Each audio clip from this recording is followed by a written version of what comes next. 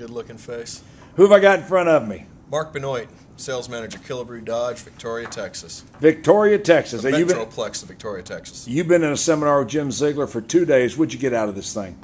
Uh, more than I can actually start to explain. Was it that good? Now, you're an experienced car guy. You've been doing it for a long time. Did you get some new stuff? I got some new stuff. Fantastic. Glad you're here. I'm glad to be here.